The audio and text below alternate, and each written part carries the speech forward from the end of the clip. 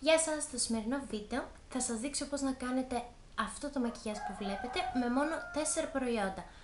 Το καλοκαίρι όλοι θέλουμε να χρησιμοποιούμε όσο το δυνατόν λιγότερα προϊόντα και κυρίως να πάρουμε μαζί μας τις διακοπές όσο το δυνατόν λιγότερα. Οπότε σκέφτηκα να σας φτιάξω ένα look με όσο το δυνατόν λιγότερα προϊόντα γίνεται. Πάμε να δούμε πώς δημιουργήθηκε αυτό το look. Θα ξεκινήσουμε τοποθετώντας make-up σε ολόκληρο το πρόσωπο. Οποιοδήποτε make-up έχετε ή θέλετε εσείς να βάλετε. Εγώ προτίμησα ένα να είναι αρκετά καλυπτικό για να μπορέσει να καλύψει και τους μαύρους κύκλους αφού δεν θα χρησιμοποιήσουμε καθόλου concealer. Και θα το τοποθετήσω με ένα σφουγγαράκι τύπου Beauty Blender, το συγκεκριμένο είναι από τη W7.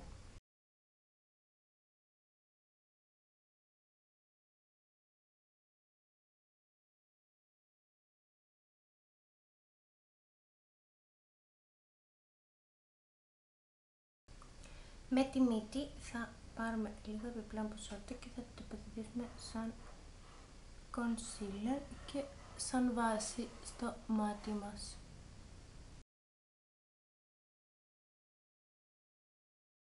Αφού έχουμε τοποθετήσει το make-up σε ολόκληρο το πρόσωπο θα πάρουμε την παλέτα από τη Lovely και θα πάρουμε την πούδρα και θα σετάρουμε την περιοχή κάτω από τα μάτια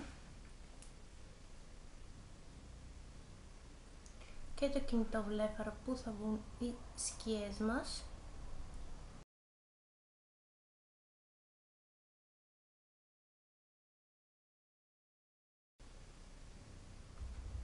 Λοιπόν, με ένα πινέλο blending και παίρνουμε το bronzer και το τοποθετούμε στην κόχη. Συγγνώμη που κοιτάω κάτω, αλλά έχω τον καθρέφτη.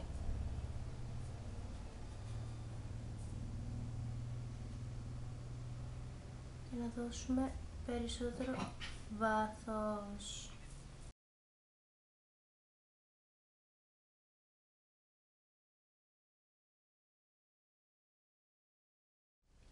Με ένα flat πινέλο θα πάρουμε το highlighter και θα το τοποθετήσουμε σε ολόκληρο το κινητό βλέφαρο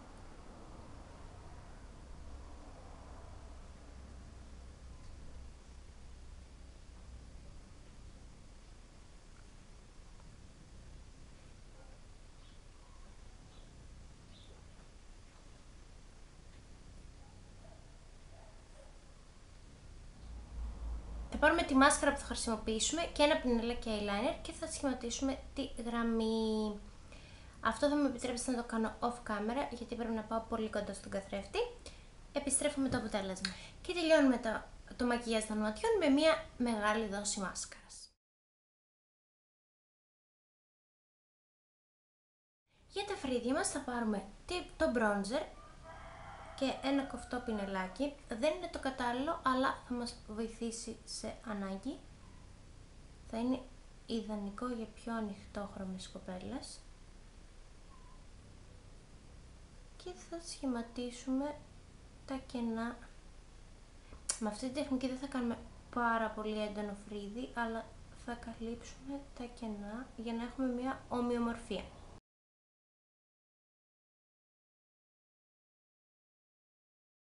Για το πρόσωπο θα πάρουμε πάλι την ίδια παλέτα και το πινέλο που τοποθετήσαμε πούδρα και θα βάλουμε bronzer.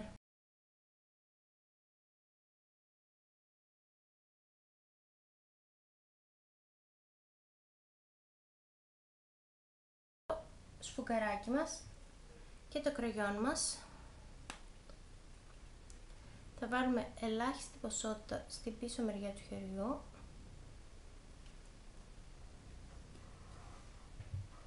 και με ταμποναριστές κινήσεις θα το τοποθετήσουμε για ρούζ.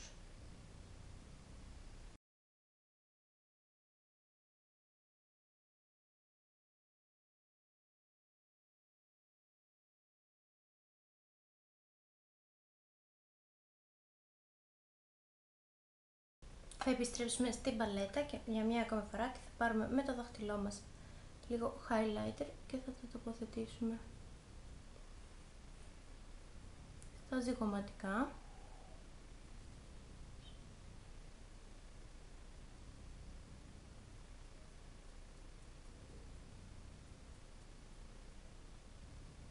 Το συγκεκριμένο δεν είναι και το καλύτερο highlighter,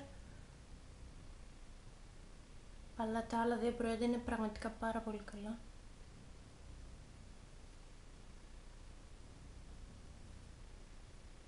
Και λίγο στη μύτη.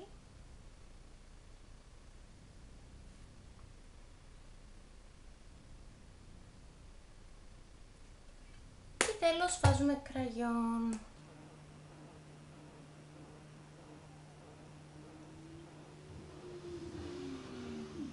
Αυτό ήταν το μακιγιάζ, ελπίζω να σας άρεσε.